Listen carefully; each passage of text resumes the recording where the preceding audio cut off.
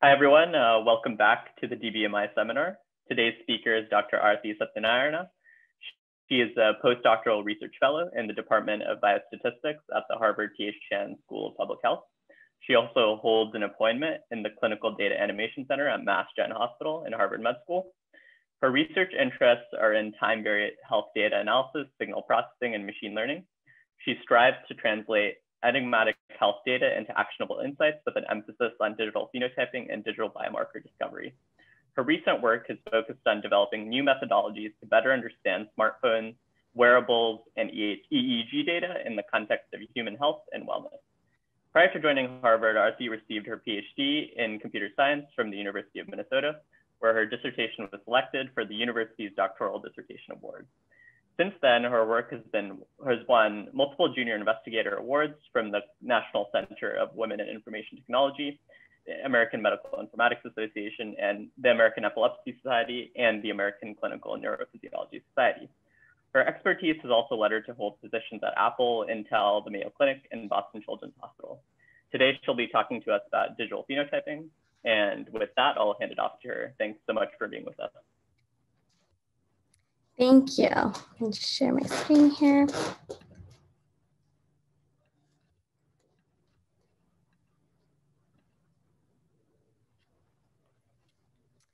So hi everyone, I'm Aarti. I'm currently a postdoctoral research fellow as mentioned at Harvard in the Department of Biostats. And I also have an affiliation with the Center of Clinical Data Animation at Massachusetts General Hospital and used to be at the Computational Health Informatics program at Boston Children's Hospital. And I'm excited to be giving you an overview of my work today that's at the intersection of signal processing and machine learning, specifically in how we can quantify human health behavior, and physiology from data streams collected at low, medium, and high frequencies. So first of all, what is digital phenotyping? So this is an emerging field. And if you Google the term, you'll find definitions from the founders of the field, John Brownstein, JP Onnela, who I'm lucky enough to call a mentor and colleague. But let me give you my definition. And that's digital phenotyping is the technological quantification of health using everyday data. And this can include physiological sensors, social media, smartphone usage, and it builds on Richard Dawkins' idea of an extended phenotype, where a person's behavior and interactions with their environment contribute to who they are and how their health is. And it can also be an incredible tool towards preventable health issues. So today I'm gonna focus on sensor data. When monitoring the human condition for wellness, performance, or for pathologic state, there are a variety of sensors that can be used. Smartphones and wearables are of course ubiquitous and collect a lot of information about our daily life. But there are other higher frequency tools that while not currently pervasive, are increasing in popularity. And today I'm going to include EEGs in this category, and I'll show you why. So each of these data streams presents different challenges and requires different approaches. As I mentioned, EEGs collect data at very high frequencies, usually between 256 to over 1000 hertz. And they use electrodes that are placed on the scalp and measure the electrical activity of the brain. EEGs are one of the most underutilized data sources in healthcare today. And a huge barrier to their widespread adoption is a lack of tools to auto-interpret them. And we'll talk about how this can be overcome. Next, we'll talk about a medium frequency data source, wearables, or specifically the most commonly used, smartwatches. Actigraphy is standard in most, and some wearables also collect GPS data. Some use electrodes, such as the latest Apple Watch. And many now use photoplethysmography to track heart rate, oxygen saturation, and other biometric signals. It's actually one of the areas I focused on when I worked at Apple. And lastly, smartphones. While capable of collecting continuous data, in reality, smartphones collect data intermittently or at low frequency and it's for a practical reason, to preserve battery life. They can track a person's GPS data, their communication patterns, and in parallel also collect patient-reported outcomes. And all of these data streams give insight into the routine and mobility of an individual and work as a proxy for physical activity, social behavior, mental health, or even mood. And this is of course not an exhaustive list. There are many more data streams available and becoming available. And each of these data sources contribute to this larger picture, the cells to society understanding of human health. And while there's work needed to be done on each of those pieces of the puzzle, there's also work that needs to be done in combining this multi-frequency data to be meaningful together. So to give you an idea of how digital phenotyping approaches can be used in biomedical research, I'm going to give you an overview of several in progress and published projects, starting with EEG data, moving to wearable data, and ending with some ongoing work with smartphone data. And I hope that this overview inspires you to think about how these methods and data streams can contribute to your own areas of work. And if you're interested, please reach out and we can talk in more detail about any of these projects. So let's start talking about EEGs. I'm going to assume no prior knowledge here so that we can all be on the same page. So if you're an EEG expert, just bear with me a second. As I mentioned, EEGs are taken by placing electrodes on the scalp of a patient and recording the electrical activity of the brain. Currently, that signal is split into alpha, beta, theta, and delta waves, and a neurologist visually inspects the recording and determines a diagnosis or the status of a patient. As I mentioned earlier, EEGs are one of the most underutilized data sources in healthcare today, and it's because the normal procedure requires clinicians to manually read these signals.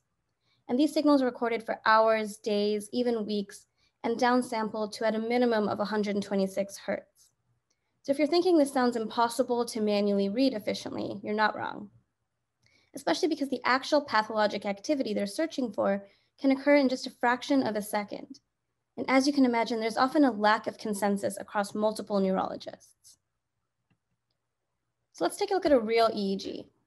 So each bar here is one second long. So this is about an eight second excerpt out of a longer EEG, which could be hours or days long. Epileptologists are trained to be able to read and identify the pathologic activity from these, and then determine the diagnosis. For example, an interictal epileptiform discharge, or an IED, is a biomarker for epilepsy and seizure risk. Different types of IEDs in an EEG indicate different types of epilepsy. So here I've identified a series of spikes in this EEG that appear to occur in the central temporal region of the brain. And so this EEG is indicative of a patient with Rolandic epilepsy. None of the other brain activity in this EEG is pathologic. So you can see how specific that morphology of the signal needs to be. Moreover, 45% of patients with have a sleep-related epilepsy. 45% of patients with epilepsy have a sleep-related epilepsy, meaning they tend to seize mostly at night, which makes capturing that abnormal brain activity on a routine EEG particularly difficult. So my goal has been to determine if there's something fundamentally different occurring in a patient's brain even when they're not having an epileptic event. And so I took a nonlinear modeling approach to capturing the electrodynamics of the brain. The input to the model would be that raw EEG interval, and it could be as short as 30 seconds or as long as your computing power can manage. And the output will essentially be a 3D matrix that theoretically captures the complete nonlinear dynamics of that EEG interval. So the three dimensions here are the EEG sensors the nonlinear measures, and the frequency bands. As I mentioned, EEGs are taken by placing electrodes on the scalp, and most clinical EEGs today have about 19 sensors. The names of the placement positions of those EEG sensors are what you're seeing across the x-axis here. The y-axis contains the nonlinear measures, and these are the metrics that we compute from the EEG. The determinism, laminarity, Lyapunov exponents, entropy, recurrence rate, etc. And all of these metrics capture the signal processing complexity of the EEG. And we'll talk more about those later. The z-axis here are the wavelets, or the frequency bands that we compute each of these metrics on. So we pulled 60 EEG excerpts from patients whose EHR said they'd been diagnosed with a sleep-related epilepsy. In this case, it's benign childhood epilepsy with central temporal spikes. I then worked with a neurologist to select intervals from their EEG that had no spikes or epileptiform activity, and to confirm that those excerpts look visually normal and would be diagnosed as so. I also selected a set of normal EEGs from patients without epilepsy to use as controls and ran this nonlinear analysis on both. So here are some of the results represented as a multi-frequency graphs for sample entropy. So the x-axes here are the frequency and the y-axes are the sample entropy value. The red curves are patients with epilepsy, and those teal blue curves are patients without epilepsy. And the confidence intervals are indicated by the shaded area. Now, entropy is a measure of chaos in the signal. But regardless of that definition, we can visually see that these curves are different across these four randomly selected electrode placements on the brain. And for the most part, at some points, the confidence intervals are separate too. As I mentioned, every EEG looked normal to an epileptologist. However, this analysis was able to identify the patients with epilepsy just by plotting these multi-frequency curves. And here we have another nonlinear measure. So here's trapping time, where we can also see a distinct difference between the curves, even more so with this one. This is for L max. And lastly, L mean. Now, each of these measures computes a different component of complexity within the electrodynamics of the brain. But without diving into the details of phase space and control theory, the key takeaway here is just that there is a measurable difference between the EEGs of patients with epilepsy and those without, even when there are no visibly observable markers to a neurologist. This image further highlights those differences. So here we have the epilepsy brain on the left and the control brain on the right. And following this rainbow scale of sample entropy values, it's clear that the region highlighted in yellow, which is the central temporal region of the epilepsy brain on the left, is in a very different dynamical state. It's bright blue as opposed to this orange or yellow shade. And as I mentioned, the patients in this cohort have a particular type of epilepsy that results in spiking in the central temporal region. So this area is generally the problem area for these patients. However, spiking did not occur during these EEGs. There were no visually identifiable abnormalities. So even when a seizure or a spike is not occurring, the epileptic brain is still fundamentally dynamically different to the controls. And we saw similar results for the other nonlinear measures too. So in summary, using these nonlinear metrics, we've taken the first step towards being able to actually see what can't be seen in an EEG. And this is quite an exciting breakthrough in epilepsy diagnostics for which we were fortunate to win the Young Investigator Award from the American Clinical Neurophysiology Society. And we also presented preliminary results at AMIA, if anyone was there, and published the final work in scientific reports. You can find out more of the details on there. So nonlinear measures are effective at phenotyping epilepsy diagnoses from EEGs. And that inspired me to see if they could, if we could also use this approach to identify the status within a patient that we already know has epilepsy. So can we find a digital biomarker of the brain's propensity to seize? So here we collected a data set of pre-surgical phase one patients with various types of epilepsy that were admitted to Boston Children's Hospital for inpatient monitoring. And this means that I could take advantage of a unique paradigm. So during this long-term monitoring, patients are weaned off of their medications so that neurologists can identify which part of the brain is causing seizures. This gives us patients that are on a high amount of medication and those same patients when they're on a low amount of medication. And the significance is that when patients are not on medication, their brain is more likely to have a seizure. The propensity of the brain to seize increases, or the term is the epileptogenicity of the brain increases. So for this study, I conducted recurrence quantitative analysis, which basically computes six nonlinear measures, trapping time, L mean, L max, L entropy, determinism, and recurrence rate.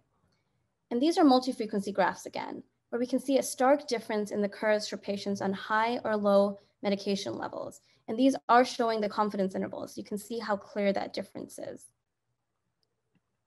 It's more, even more obvious here. So these visualizations are showing the change in the brain as medication is weaned. So each brain diagram is actually showing the difference in value within a patient's brain for trapping time on the left, TT, and L mean on the right. In this study, the patients had various types of epilepsy, and so the problem area, the seizure onset zone, is different for every patient and was computed as such. So the yellow highlighted area here is just for visualization. But we can again see that the problem area in the brain, in this case, the part of the brain where seizures initiate, reacts differently to medication weaning than the rest of the brain for Lmax and L entropy, and for determinism and recurrence rate. So this means that we can measure the effect of medication on the brain non-invasively from an EEG and in real time. it also means that we may be able to identify the part of the brain that is causing the seizures in real time. And that would have incredible implications for clinical care, as this process currently takes a week of inpatient monitoring.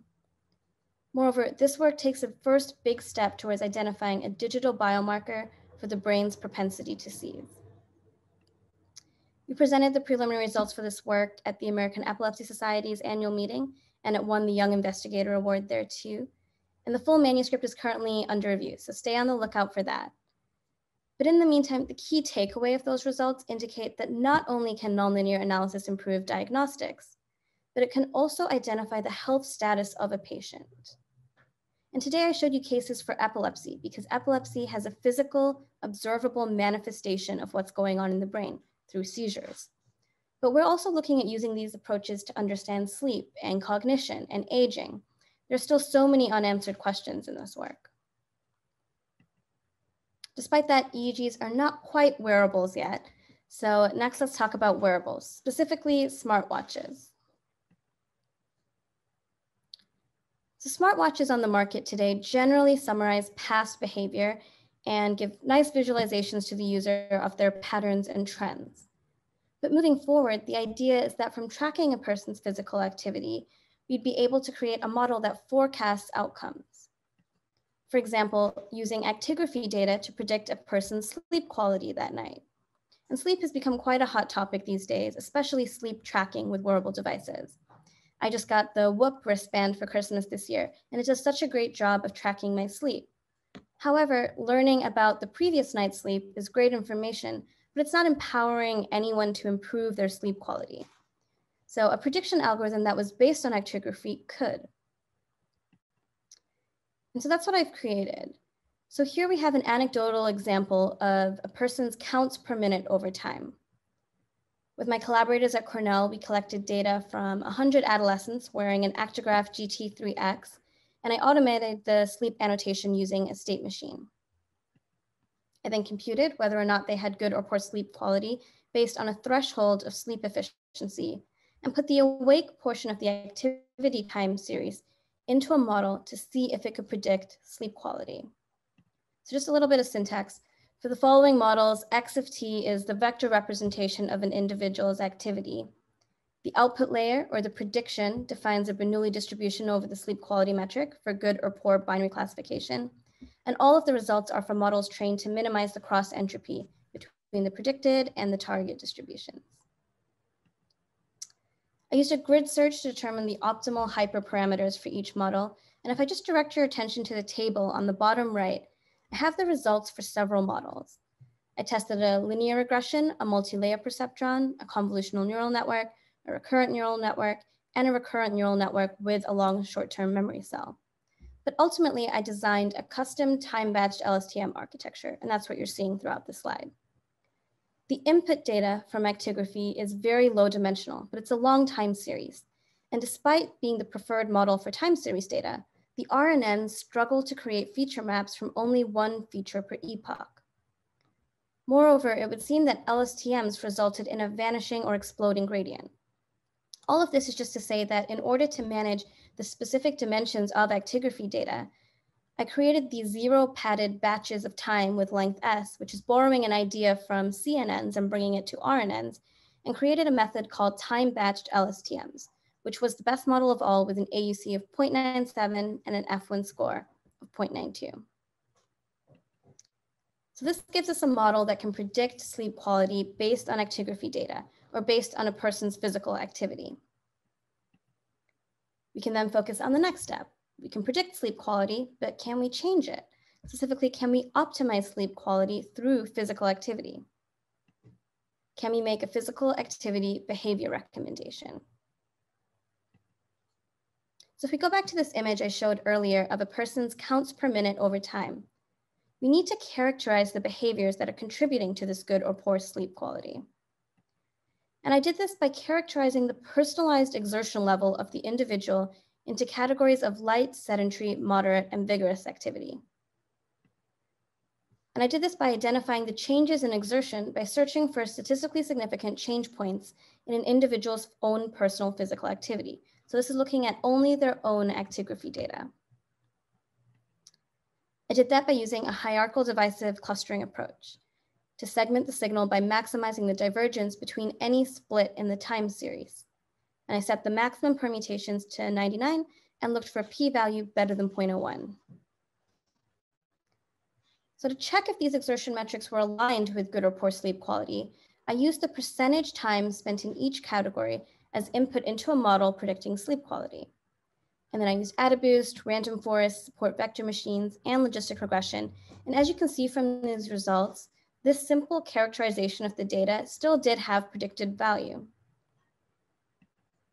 So now we're one step closer to a behavior recommendation. Thanks to the TB-LSTM architecture and the human activity recognition algorithm I just mentioned, we can make a prediction of sleep quality and also interpret how an individual's physical activity contributes to it. The next step is making a recommendation. So far, we've taken a person's entire actigraphy time series during the day and then predicted their sleep quality. So here, T sub 100 indicates the time where we have 100% of the daily activity time series, and R indicates the real sleep quality. But we need to move this prediction back to some time t, where we can proactively predict the expected sleep quality with incomplete information, and then advise the user to take action towards improving their sleep quality. So P, P here represents the prediction of sleep quality based on that sleep efficiency threshold. And then P of zero equals poor sleep and P of one equals good sleep. So to test this proof of concept, I wanted to validate it on retrospective data, make a prediction of sleep quality indicated by P, make a recommendation to improve sleep quality, and then compare it to the real sleep quality marked here as R. So let's start by defining those recommendations. So that human activity recognition algorithm I described vectorized the personalized exertion level of an individual throughout the day into light, medium, moderate, vigorous um, activity. So for each individual, we have the percentage time they spent in each of those modes. I then used the Calinski-Harabasz index or the variance ratio criterion to select the number of clusters to create and did a k-means clustering. And this is using a partial actigraphy vector up to some time t in the day. So that means actigraphy vectors that are in the same cluster exhibit similar behavior or exertion levels between time zero and time t. Then within each cluster, I subclustered using the same method. However, these subclusters were now using that full actigraphy time series from zero to 100. So two signals within the same outer cluster, but in different subclusters, which show similar behavior until time t, but different behavior after time t. Then computing the good to bad sleep ratio in each subcluster and filtering on a threshold, here I'm using two, gives us target clusters for good or poor sleep quality. The centroids of each subcluster with a ratio above two make an ideal behavioral recipe that leads to good sleep. Now, each of these recipes would be unique to a user and their own exertion level variation. So when a recommendation needs to be made, it will be determined by computing the user's distance from each behavioral recipe centroid to identify the closest and suggest how a user should exert themselves for the remainder of the day. So to test this, I validated on retrospective data. So there are six possibilities going from left to right.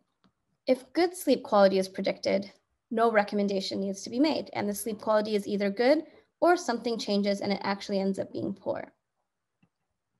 If poor sleep quality is predicted, that's when our engine will kick in. And there are four possible outcomes, A, B, C, and D. For A, a person is predicted to have poor sleep, they follow the recommendation, and then they end up having good sleep. The recommendation works. B indicates the case where the recommendation is faulty. The user has followed the recommendation, but still had poor sleep. C is the case where a user is predicted to have poor sleep, doesn't follow the recommendation, but somehow improves their sleep quality and has good sleep. And D indicates the case where the user does not follow the recommendation and thus does not have good sleep as predicted. So a successful recommendation system would maximize A relative to B and D relative to C. So I retrospectively evaluated this approach on 636 individuals who were predicted to have poor sleep quality. Of those, 81% of recommendations that were followed resulted in good sleep quality. and 79% of recommendations that weren't followed led to poor sleep. And this illustrates that this method for developing personalized behavioral recipes for optimized sleep quality works. And I'd love to test this in a clinical trial in the future. So now we have this complete cycle using a time-batched LSTM to predict sleep quality from actigraphy, a human activity recognition algorithm to draw insight from the actigraphy, and a behavior recommendation system using subclustering to optimize and improve sleep. And this work received an award from NC WIT, the National Center for Women and Information Technology, and the different components have been published in multiple venues. Specifically, the deep learning model is in JMIR M Health, the human activity recognition model at ICDM, and the recommendation system in IEEE Computer. This work was also selected for the Best Dissertation Award for the year I graduated because these approaches can be used to model many other health outcomes. That being said, one of the key obstacles to launching this at scale is that the wearable market has no standard output and uses proprietary algorithms without sharing that raw data. So we're currently launching a sub-study as part of the larger Nurses Health study, where we'll collect wearables and smartphone data from 50 nurses over 14 days. And we're going to be using an actigraph, a Fitbit, and smartphones with an app called Beiwe to see if we can draw parallels between these different data sets and normalize these outputs. The wearable market, of course, continues to expand, and as many more sensors become integrated into the devices, there are more opportunities for digital phenotyping. So lastly, let's talk about my current projects, which are using smartphone data. As I mentioned, some of the key data streams that we collect from smartphones are GPS and communication records. In the real world, GPS data is collected as little as 10% of the time in cycles of one minute on and nine minutes off. And this makes the data quite sparse and intermittent. Communication data is of course discrete and not continuous. We're talking about how long someone takes to respond to a text message, how many people they talk on the phone to, etc. But to interpret these data streams in the context of an individual, we need to look at trends over time. So we create these summary statistics that aggregate the data at a uniform level, no matter the device. And these summary statistics are crucial to tapping into the data that smartphones track, both for clinicians and researchers, but also the individual. Telling a user about the maximum amplitude of their mobility waveform is completely meaningless, but sharing that there's been a decrease in the length of time they spend continuously active over the last few weeks could be meaningful from the perspective of recovery. Their body may have decreased in performance. And that's that trajectory piece where we model these metrics over time to gain insights. So here are just some of the summary statistics that our team has developed. We have many more.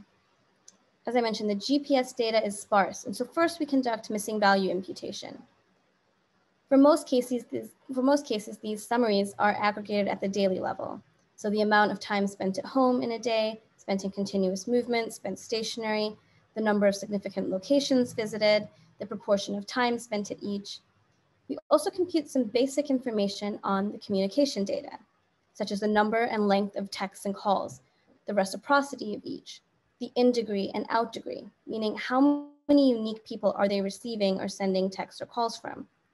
And all of these metrics are available through a tool we've been developing called Forest. In order to translate our work into having real utility for researchers, we're making everything open source and available on GitHub. Forest builds on top of Beiwe, which is a research platform that our lab created a few years ago. It includes an app that users install on their smartphone and it collects all the relevant data streams uniformly. Forest is a Python library that takes that smartphone output and automatically computes and models each of these metrics. We're currently working on connecting it to AWS and channeling all that data directly to Tableau for visualization, again, so that non-technical researchers can really use this tool. We currently have a couple trees, as we call them, aka Python packages, available through Forest. Willow, which computes the mobility or GPS metrics. Jasmine, which computes the communication metrics. A survey package called Sycamore, which allows us to compare the objective data streams with patient-reported outcomes. We're also working on an actigraphy and a sleep and circadian rhythm package that will come out later this year. And all of these packages help compute metrics and trajectories that essentially capture behavioral traits, track behavioral changes, and help with the early detection of abnormal or unexpected behaviors. And I'm currently leading three new projects that do each one of these. The first is with Stanford identifying smartphone measurable objective markers of autism spectrum disorder. The second is with a pharmaceutical company called Boehringer Ingelheim, where we're using Forest and Beiwe to measure exploratory endpoints in a clinical trial for an antidepressant. And the third is with the neurosurgical team at Brigham Women's, where I'm developing new methods to model post-surgical recovery trajectories. So you can see a wide breadth of types of studies that this works for. The Stanford study is a small pilot study to assess the feasibility of using smartphones to identify traits common to ASD. In particular, we're collecting GPS data, communication history, and a series of 10 survey questions. For example, some of the questions we're asking are, have they exercised today? How are they feeling today? Did they eat breakfast? Did they snack, etc. We'll also have the patients complete cognitive behavioral questionnaires, the social responsiveness scale, the SRS-2, and the autism spectrum quotient. And this study is currently in progress, so we don't yet have the results from those questionnaires, but here's a preview of the types of data that we're collecting and the patients and the patterns that we can already see in patients. So here I've plotted the data from two patients, patient one and patient two. Patient one's average daily distance traveled is shown in gray, and patient two's is in green. So from this graph, we can objectively observe that patient one travels a greater distance every day compared to patient two, and is generally more mobile according to their GPS data. We can also observe, based on communication records, that patient two speaks on the phone more often than texting, while patient one uses mostly text messages or multimedia messages. The top graph here is the number of calls daily, and the bottom is text messages. So patient two makes around two phone calls a day, most days, but sometimes more than 10. Patient one, on the other hand, rarely has more than two phone calls a day, but sends hundreds of text messages a day. That peak we're seeing in February shows they sent over 1,500 texts that day. And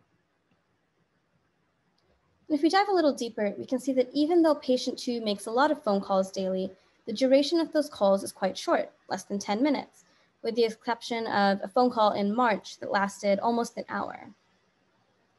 In contrast, when patient one has phone calls, they seem to be a little bit longer. We saw that patient one sends hundreds of texts a day and even thousands on that occasion. And if we look at the text out degree here in the bottom graph, we can see that on the day that they sent those 1500 text messages, they were to 200 different people, or at least 200 unique phone numbers. And there are several days where they're sent texting 50 unique phone numbers, while patient two seems to speak to a small group of people regularly. As a result, when the patients were asked about the number of meaningful interactions they had per day, patient one reported having less than five meaningful interactions, while patient two reported having more than 15.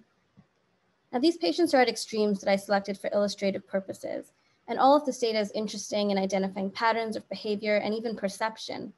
But once we have those cognitive behavioral questionnaires, we can really start to understand how these behavior trajectories and what they mean in the context of ASD and instantly visualize patterns that could be indicative of their condition. As for the Boehringer Ingelheim study, this is a formal decentralized clinical trial to test the efficacy of a new antidepressant medication. Together, we're using smartphones to collect exploratory endpoints, so can we match the trajectory of a patient's behavior to how well the medication is working? And this is a unique situation where there are clearly defined controlled and test groups. The trial is currently underway and enrollment is ongoing, but we should reach about 110 patients in the next couple of months. And it illustrates this, um, this pro project illustrates the potential of these methods to be used in real world problems. So stay tuned for results from this work over the next few months. For the third project, the Brigham study, we're using smartphone data to collect the same data streams. But this time, we asked the patients to share their daily pain level. Generally, after surgery, these pain levels spike, drastically drop, and then plateau. However, the time frame over which they improve differs. Daily fluctuation of their pain differs, and the overall recovery trajectory differs. Moreover, pain is notoriously difficult for patients to quantify. So step one was just to see if these objective markers of mobility correlate with patient-reported pain scores. So here I've plotted the pain scores for one patient against their daily distance traveled. And we can instantly observe that as pain decreases post-surgery, the mobility of the patient increases. On an aggregate level for a group of 100 patients, we found that an average increase in pain by 0.1 was associated with a 2.8-fold decrease in the average length of a patient's daily flight, a 5.1-fold decrease in the largest distance a patient traversed, and a 6.0-fold decrease in a patient's distance traveled that day. The flight length refers to a continuous straight path movement. So decreases in flight length may indicate decreases in confidence and comfort in going places. Decreases in the largest distance traveled daily may mean patients are staying closer to home. And a decrease in the total distance traveled means patients are going to fewer places as well as staying closer to home. So objectively measured mobility could work as a proxy to infer pain.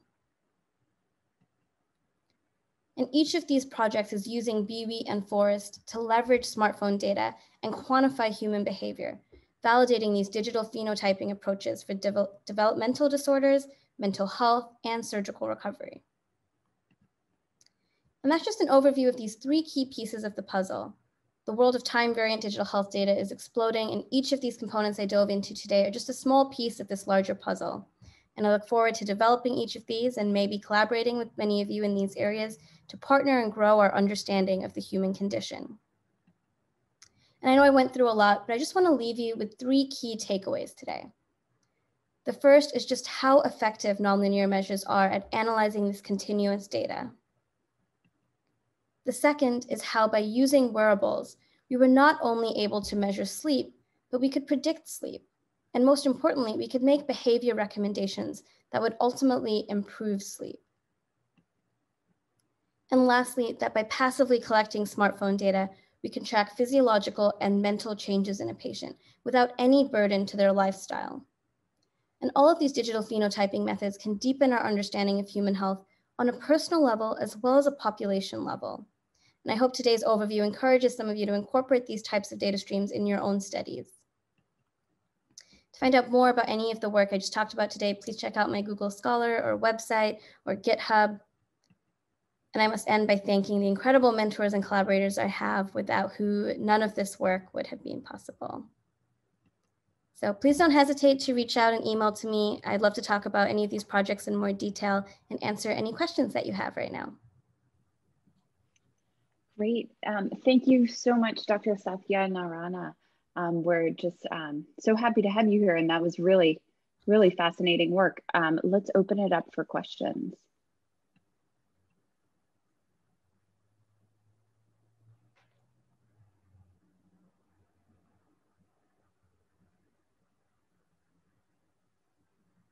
Uh, I've got a question. Great, go ahead. Uh, thank you for a phenomenal talk. Uh, my name is Pierre Elias. I'm a cardiology fellow here, and I'm doing my postdoc in the Perotte Lab uh, here in DBMI. Uh, Ken Mandl is also a good friend, so please say hi. Um, uh, so there's a lot of really fascinating work. We work a lot with waveform data, particularly electrocardiograms. And so I had two questions for you about some of your EEG work. Yeah. So the, the first is, um, as you mentioned, you know, there's alpha wave, beta wave, so on and so forth. You have multiple quote unquote leads that are being generated. And one thing we've seen in the electrocardiography world is um, there's very little consensus about uh, what a multi-waveform image is. So some people treat it with 2D convolution, some people treat it with 1D convolution, some people use gated recurrent units and LSTMs. And we've seen kind of a huge variety of different approaches, but not a lot of consensus. So I'd love to hear just your thoughts on after having run it with 1D CNNs, 2D CNNs, and, and other things, um, did you see anything uh, come out of the waveform, uh, kind of come out as a consensus around the waveform data that you're using with EEGs? And the second question is, did you um, at any point look at um, the ways that you could um, take EEG data that was collected at different time intervals and create that into a single input. So someone had like an EEG done a year ago, and then rather than just learning from one EEG, knowing what that patient's prior baseline was from a prior EEG to uh, um, uh, potentially inform the model one way or another. Yeah, so I'll start with your second question, um, which is kind of looking at EEGs over time. That's something I haven't looked at yet, but is something we're starting to look at specifically from the perspective of cognitive development and how, you know, with these pediatric patients, especially with with BECTS, which is the benign childhood epilepsy, these patients are as they as you look at different age groups, patients generally outgrow the condition towards the you know the preteens and teens. So looking at different age groups, you know, you're going to see a different type of um, EEG, especially as you look at the way younger um, infants who are still developing their brains. So we're looking into doing that. We haven't done it yet. Um, and this work has also been done, these sort of approaches with autism um, or high risk autism patients. So, and there have been early results um, that are published as well on that. So that they definitely do have a way of looking at that and are able to find patterns over time. For your first question, um, we haven't looked at doing sort of deep learning on the EEGs right now. And part of that is just we're testing for all these different nonlinear measures. We've got this 3D tensor, and we could put it through a CNN. But most of the criticism, or I shouldn't say criticism, but the most of the pushback that we get from neurologists is around even these nonlinear measures and their physiological explanations aren't clear yet. So adding another black box on top of them sounds a little bit more confusing rather than trying to dive into what these measures mean. So we've sort of stayed away from doing anything like that yet. Did that kind of answer your question? It does, it does. Um, and I, I noticed that like you had all the things for LSTMs and the like uh, when you were moving into the, the sensor data. So right. that's super interesting. Thank you so much. Thank you. Great, other questions? I have a quick question. Jump in. Okay, great. Nobody else jumped in at just the same time as me. Perfect. Um, thanks. That was a really, really super uh, interesting talk. Um, one question I had is about the second portion on physical activity and recommendations. Um, and wondering if you could speak a little bit more to what those recommendations would look like, like delivered to a person, like in the context of a clinical trial. Because from what I understand, what you're talking about, like looking at sort of different clusters or like if your physical activity this afternoon looks a little bit more like this, you'll sleep better. Um, is that understanding correct? And just like what what are your thoughts on how that deliver recommendation could be delivered to a to a person? Yeah, so the, the algorithmic output that you would get from that would be um, for each of those categories, so sedentary, light, moderate, and vigorous activity, um, depending on what time they wanted to go to sleep, it would ask, give them a recommendation of how many minutes to spend in each category. Mm-hmm. Now, how to deliver that to a patient is sort of a HCI question, and you know how to visualize that data for them. Um, so I haven't looked into that yet, but I love. I hope my presentation shows how much I love good visualizations that show mm-hmm. interesting things to people in an understandable way, and I think that that would be a really fascinating thing to look at, and I'm really interested in looking at that. Very cool. Thanks. Yeah. Uh, I have a couple questions. Uh, maybe I can jump in here if no one else. Yep. Go for it. Uh, so one question I had about uh, the sleep recommendation aspect was uh, you're looking at actig actigraphy data, and there's presumably a lot of other explanations for poor sleep as well, um, like stress or other things. Wondering if you thought about looking at other data sources for that. And my second question is, I guess, more uh, technical.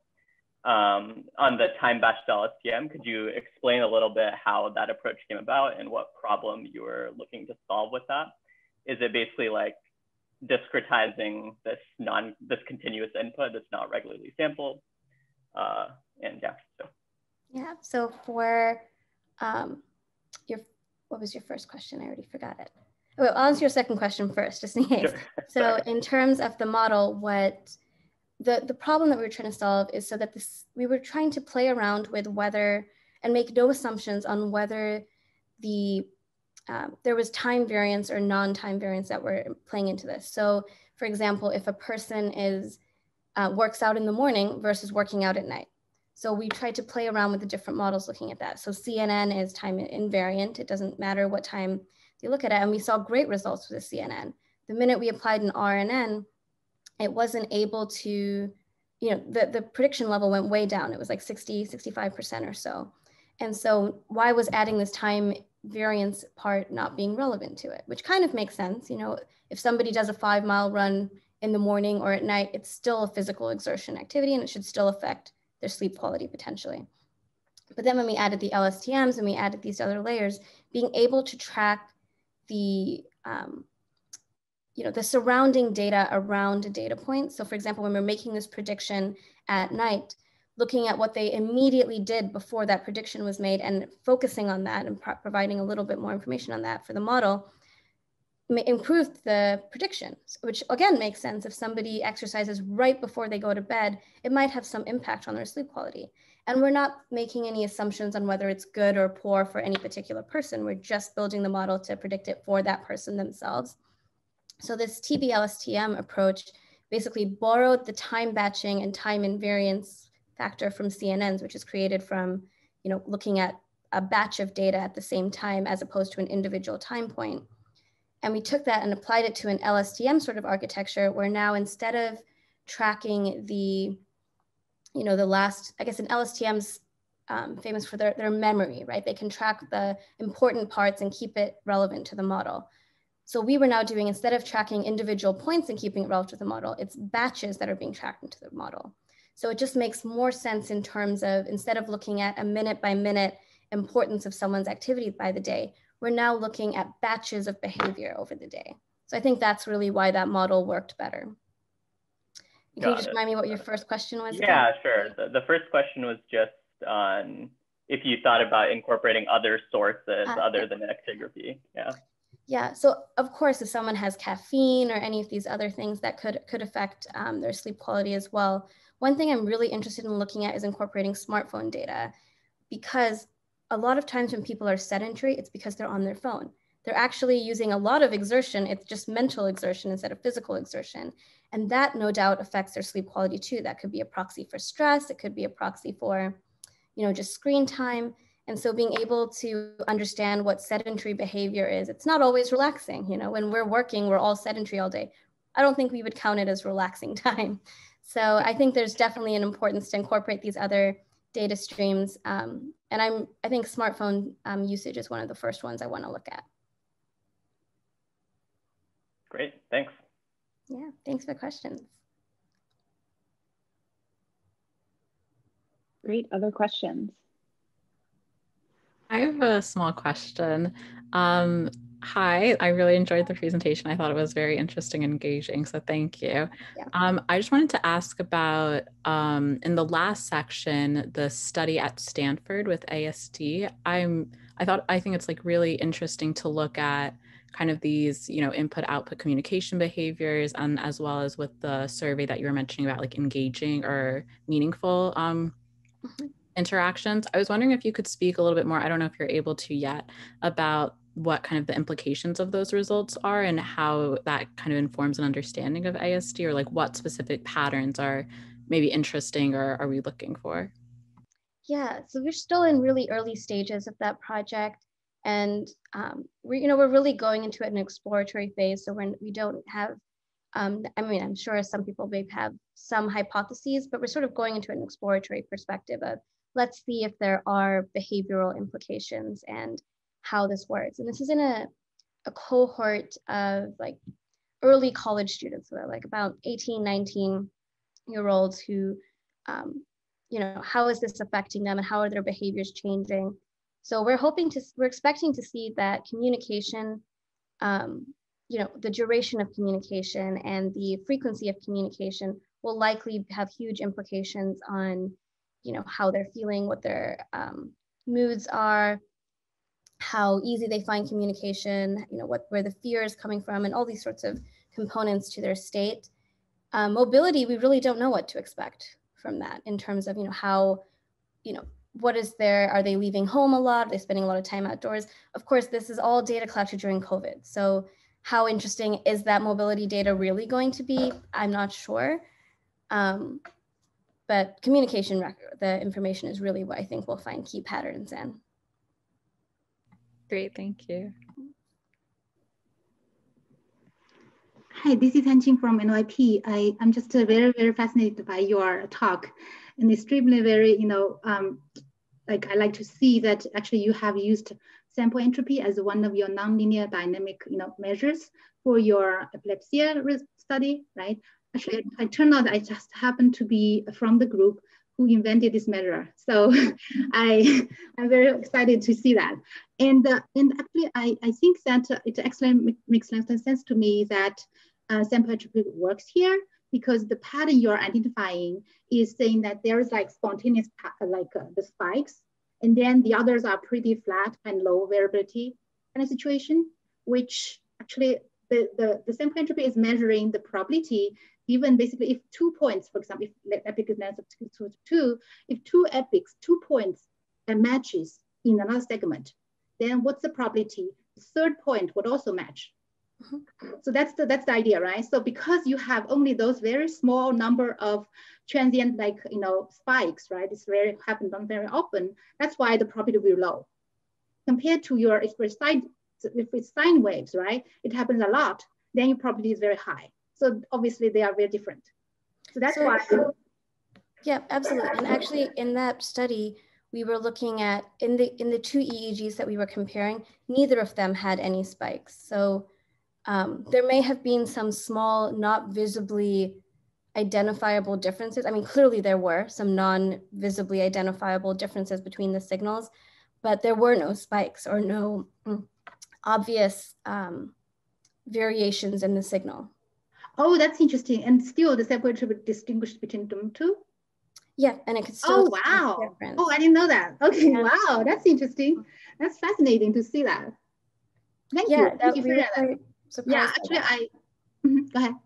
No, that's that's exactly um, the key takeaway. There is that these two intervals look normal. A neurologist could say that these both these EEG intervals look normal. There's no visible spiking. There's nothing. Um, but sample entropy could still pick up on some electrodynamic differences between the two. Wow. Okay. If you don't mind, I'd like follow up with you. It's very fascinating. Yeah, I actually I would like to follow up with you because I have some questions. One of the big questions we get when we present this type of work at conferences are what how does spiking and how does epileptiform activity change the sample entropy? Because for example, if we're looking at you know the sample entropy of an EEG over you know the intervals that I showed were 30 second intervals, maybe 60 seconds for some of them.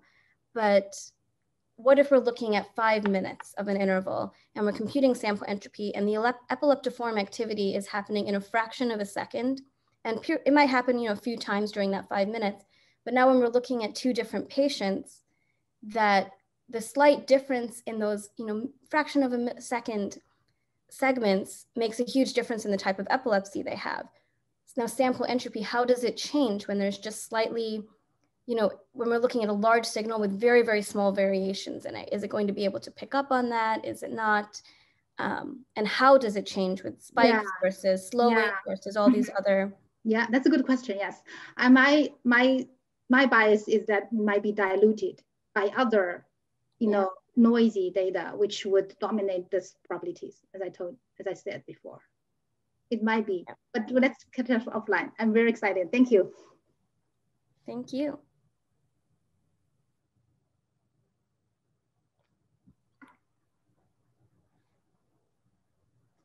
Other questions?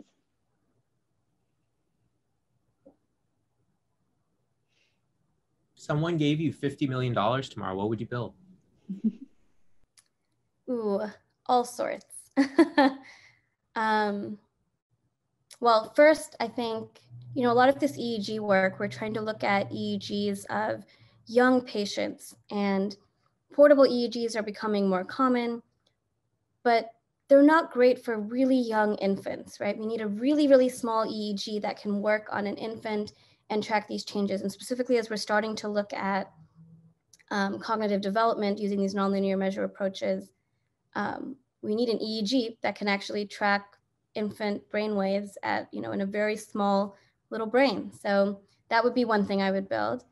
Um, another would be well, I'd hire a lawyer to get all these wearable companies to start being a little bit more open or transparent or uh, you know, give a standard output that these algorithms can work with, because I think that's what patients want. That's what people who are buying wearables, they're tracking this information for their health and their wellness. So incorporating that into an EHR, we need to have, it doesn't need to, you know, we don't need to know their proprietary algorithms, but we need a standardized output so that we can really interact with that data and give feedback to patients, to clinicians, to researchers. So there needs to be some sort of standardization going on around there, I think, to really have a long-term impact and I think it's coming in time, but we're not there yet. So I would accelerate that movement to happening a little bit quicker. Um, and smartphone data, you know, smartphone data I think is just untapped yet. We're still figuring out what exactly we want to summarize, what can we interpret. So there's a lot of research that can go on there still. So I'm not sure if I would spend that 50 million there yet. Those are some great answers. less scientific perhaps, but.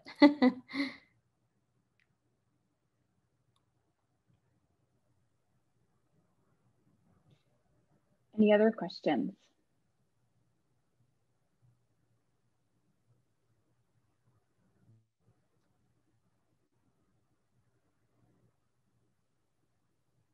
Okay, well, Thank you so much for a really interesting yeah. presentation and a really rich discussion too. So that that was um, that was great.